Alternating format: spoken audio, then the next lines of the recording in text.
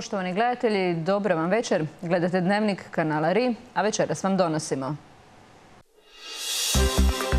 Sve službe na najvišem stupnju pripravnosti. Sutra u 22 sata počinje velika akcija izmještanja protubrodske mine iz Riječke luke, tijekom koje će stanari uz obalu biti evakuirani. Mrežna stranica za online psihološko savjetovanje svejeok.hr dobila novi blog. Grad Kastav dodijelio nagrade i priznanja najboljim sportašima u 2022. U nedjelju novi izazov za nogometaše Rijeke. Bijeli gostuju na Maksimiru protiv Dinama. Na Kvarneru i u Gorskom Kotaru sutra pretežno sunčano uz slab vjetar. Pred Riječanima je sve, samo ne uobičajeni vikend. Sve službe su u najvišem stupnju pripravnosti, a sutra kreće evakuacija stanovništva u crvenoj zoni uz Riječku obalu. Kako grad diše prije početka velike akcije izmještanja i neutraliziranja protubrodske mine u Riječkoj luci, doznajte u prilogu.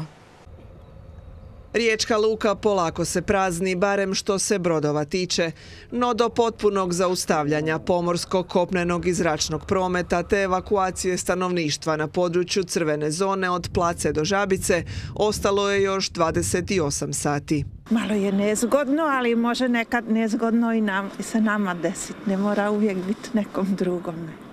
E, baš, baš je malo nezgodno. Katlen živi u Zagrebačkoj ulici i jedna je od petstotinjak stanovnika koji za vrijeme trajanja akcije uklanjanja i neutraliziranja protubrodske mine zaostale u luci još od drugog svjetskog rata moraju napustiti svoj dom. Ona će s obitelji u dvoranu mladosti.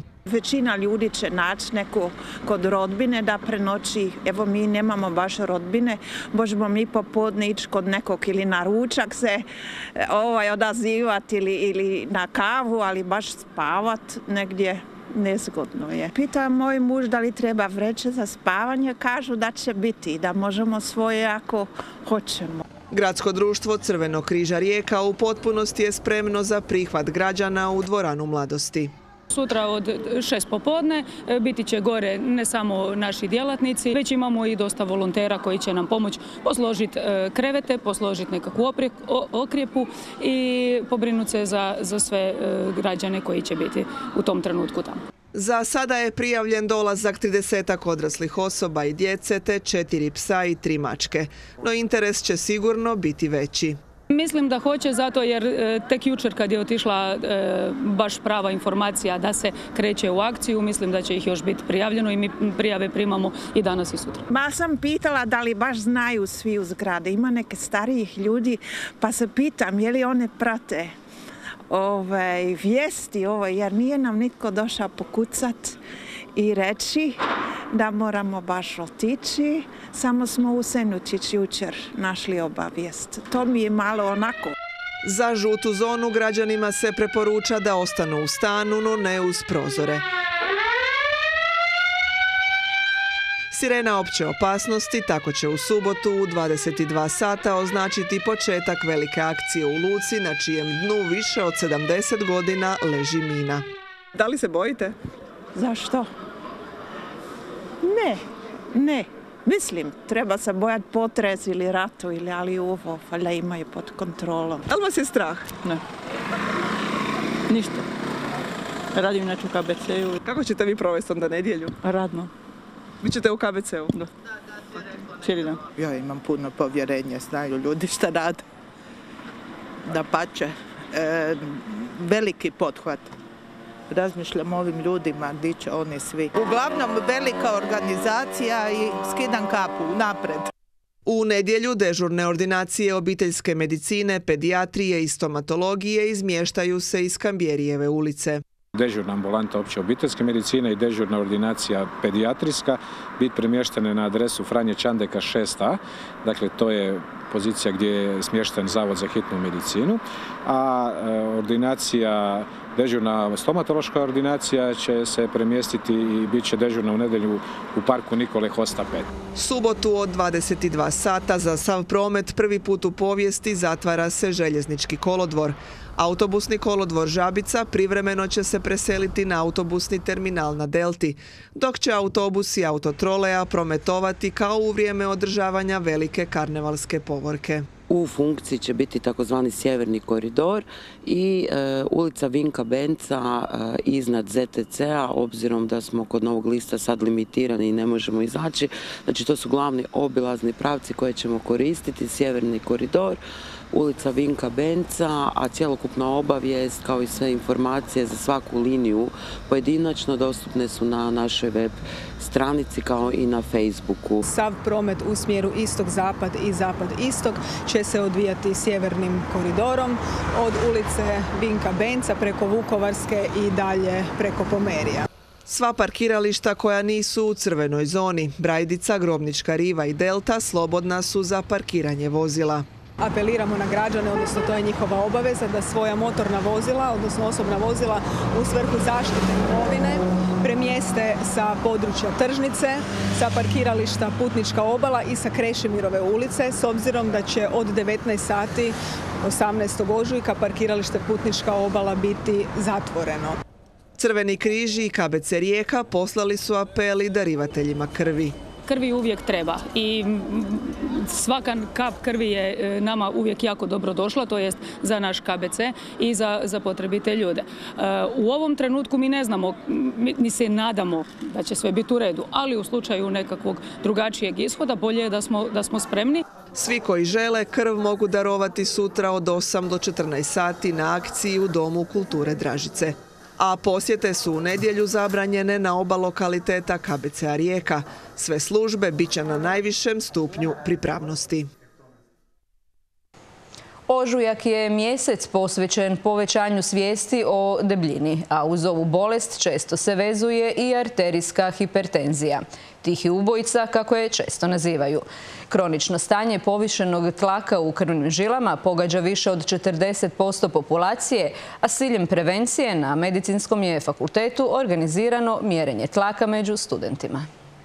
Studenti i studentice Medicinskog fakulteta u Rijeci danas su jedni drugima mjerili tlak. Razlog prevencija arterijske hipertenzije. Dakle, studente smo educirali na koji način se mjeri tlak i studenti koji su dolaze na konferenciju zapravo imaju priliku izmjeriti svoj krvni tlak. Ovaj događaj e, smo osmislili ovdje na Medicinskom fakultetu prvenstveno jer mjesec ožujak je mjesec obilježavanja dana debljine, dana kronične bubrežne bolesti i smanjenog unosa soli. Cilj ovakve akcije je dizanje svijesti o problemu tihog povišenog krvnog tlaka. Problemu arterijske hipertenzije u populaciji Znamo da e, je arterijska hipertenzija e, bolest koja pogađa veliki postotak naše populacije i to je gotovo 40% odrasle populacije ima izazov sa arterijskom hipertenzijom. Uz osvještavanje o visokokrvnom tlaku i bubrežnim bolestima, riječki medicinari promovirali su i projekt Value Care.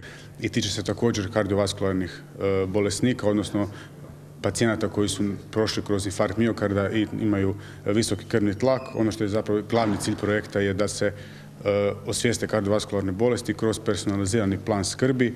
Hipertenzija se često javlja bez simptoma, zbog čega ju i zovu tihi ubojica. No uz krvni tlak viši od 140 kroz 90, simptomi koji se mogu javiti su umor, smetenost, mučnina i pretjerano znojenje.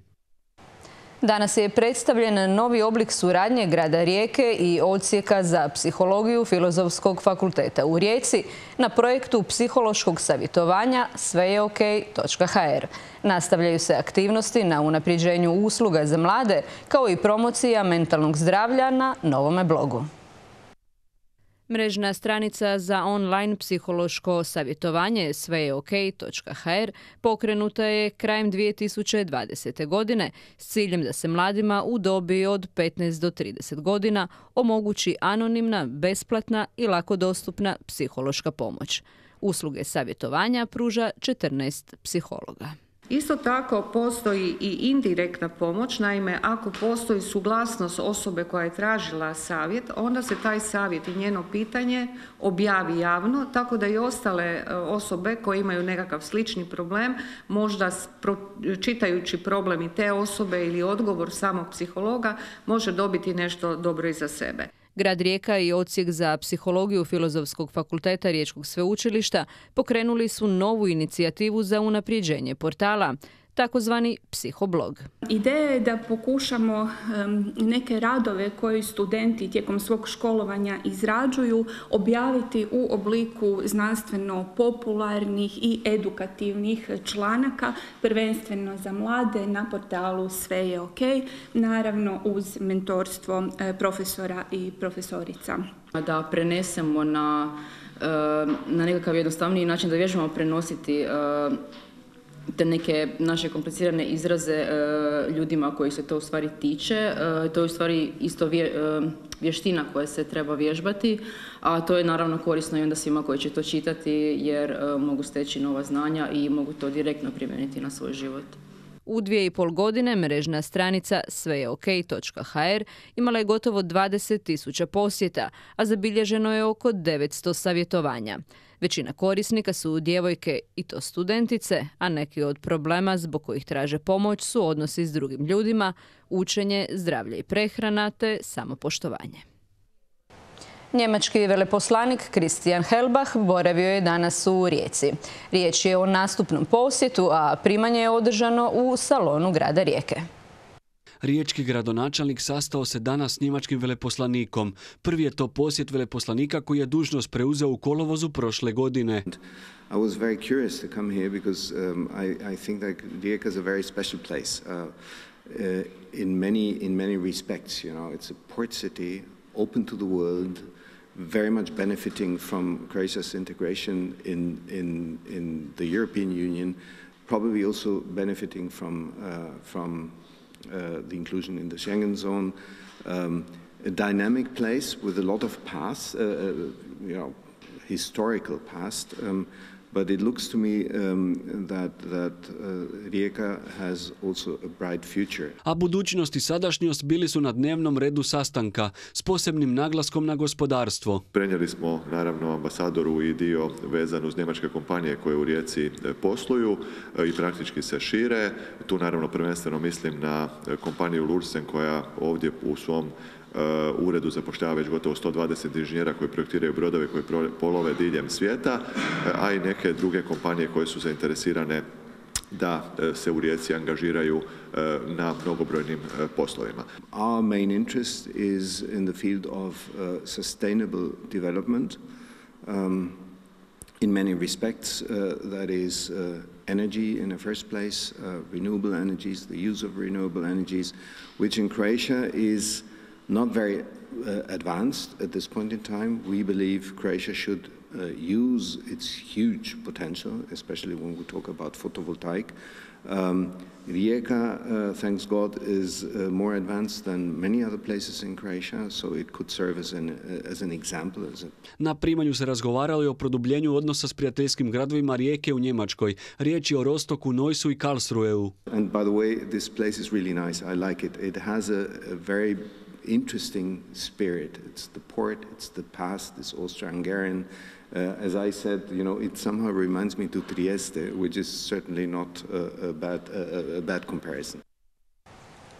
U Puli je danas svečano otvoren park Anne Frank, židovske djevojčice rođene u Njemačkoj, čiji su dnevnički zapisi tijekom drugog svjetskog rata obišli svijet.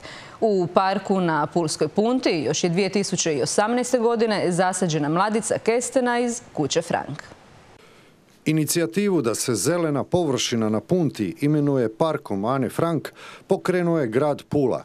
Naime, aktualni je gradonačelnik Filip Zoričić kao ravnatelj gimnazije 2018. godine iz Amsterdama u Pulu donio mladicu Kestena Ane Frank koja je zatim posađena u parku u Domu hrvatskih branitelja u Puli. Grad nakon toga odlučuje i posvetiti jedan park u Puli Ani Frank, simbolu žrtve, sjećanja i upozorenja, gdje je i preneseno stablo Kestena. Otvorenje parka održava se na početku predsjedanja Hrvatske Međunarodnim savezom za sjećanje na holokaust.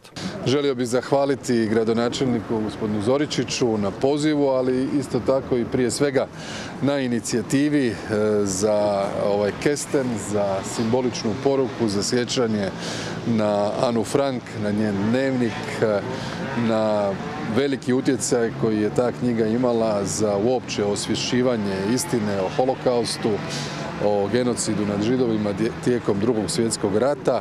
Smatram da e, je trenutak kada se okupljamo ovdje u ovome parku izrazito važan i izravno je povezan sa činjenicom da je Hrvatska preuzela predsjedanje IHROM, dakle sa 35 zemalja, međunarodnom organizacijom za sjećanje na holokaust i ta činjenica nas obvezuje da emancipiramo ovu temu, da osvježavamo sjećanje, da obrazujemo mlade generacije, da govorimo o problemima antisemitizma, da na njih reagiramo i da isto tako damo svoj doprinos na globalnoj razini jer se približava vrijeme kada više živih svjedoka holokausta neće biti među nama.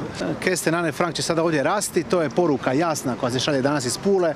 Unatoč evo onoj situaciji koja se govorila danas u Puli ili jučer oko grafita, agresivnih grafita na plakatima po gradu, a inače što se događa nažalost u nekim trenucima, jasna poruka danas iz Pule, poruka mira, poruka budućnosti, poruka prema našoj djeci na koji način da ih educiramo, da Jana Frank bude primjer i upornosti, i hrabrosti, i ustrajnosti. Evo, to je poruka koju danas šaljemo iz našeg grada i zato sam iznimno ponosan, zahvalan svima koji su se potrudili da upravo mi budemo grad, grad Pula koja će ovdje imati park Anne Frank u kojem će rasti mladica Kesten Anne Frank. Mi za to i tekako i tekako jasne poruke. Svečanosti otvorenja parka prisustvovali su predstavnici stranih veleposlanstava u našoj zemlji, pa i izraelski veleposlanik Geri Koren. Zatim članovi obitelji pokojne Anice Kovačić iz Slovenije, koja je poznavala Anu Frank i provela s njom posljednje dane u nacističkom konclogoru, te brojni drugi uzvanici. Međutim, ono što je upadalo u oči je izostanak istarskog župana na ceremoniji. Točnije činjenica da gradski protokol nije predvidio dolazak predstavnika Istarske županije. Bilo kako bilo, Plenković se sa suradnicima iz parka Ane Frank uputio u komunalnu palaču gdje je odradio radni sastanak sa gradonačelnikom Zoričićem, a zatim je otišao u sjedište Istarske županije gdje se sastao i sa istarskim županom Borisom Miletićem. Svoj posjet Istri na kraju je završio na otvorenju devetog međunarodnog sajma s klobasicom u Europu u Svetom Petru u Šumi. Najboljim sportašima i klubovima te sportskim djelatnicima u 2022. grad Kastav je dodijelio nagrade i priznanja. U gradu s izraženim sportskim duhom i među brojnim uspješnim sportašima odbor se našao pred teškim izazovom. Najbolji sportaši u prošloj godini dolaze iz karate kluba, teniskog te odbojkaškog kluba Kastav.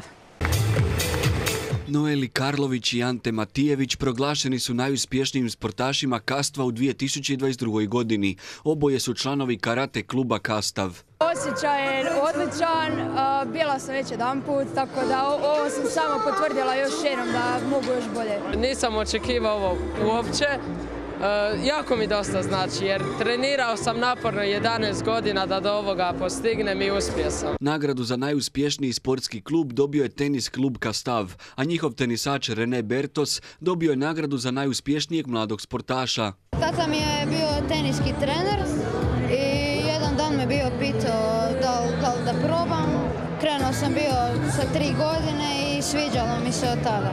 Pa ovo mi znači puno i daje mi puno motivacije i samo ću nastaviti isto ovako i samo ću se još više truditi. A još će se više truditi i Karolina Jorgić, odbojkašica koja je osvojila nagradu za najuspješniju mladu sportašicu.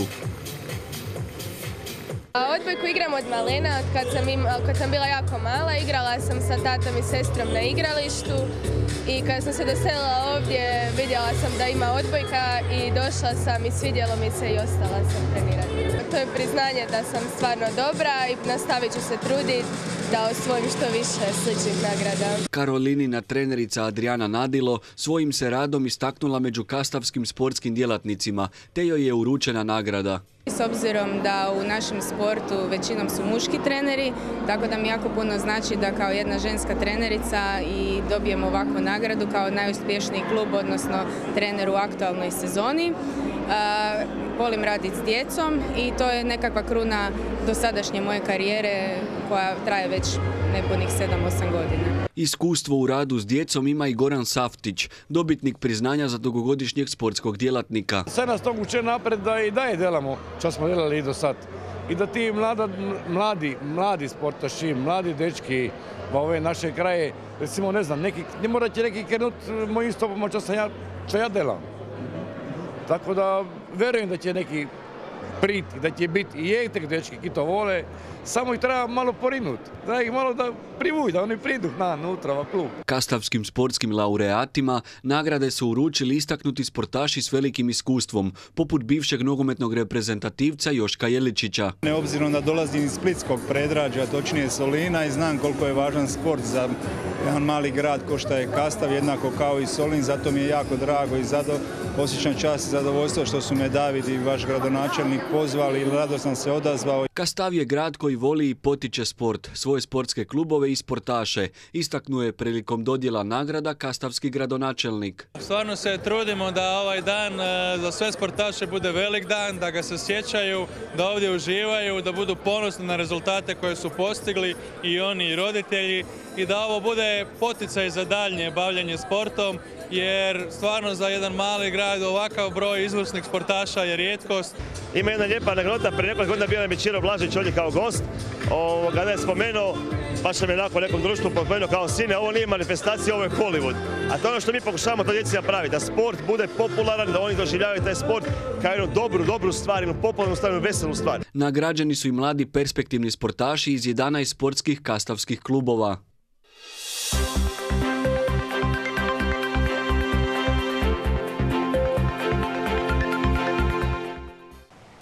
Pred nogometašima Rijeke u nedjelju je novi izazov. Gostovanje na Maksimiru protiv Dinama. Iako je Dinamo u laganoj krizi i nizu loših rezultata, bit će to pravi test mogućnosti za igrače Sergeja Jakirovića. Najuspješnija ekipa drugog dijela prvenstva gostuje kod lidera prvenstva, što bi trebala biti garancija zanimljive utakmice u nedjelju. Loši rezultati Dinama u posljednje tri utakmice je nešto što na Rujevici ipak izaziva dodatan oprez. Smatram da će biti opća mobilizacija, da će igrati svi koji su ovaj, na dispoziciji i da nas sigurno očekuje težak posao.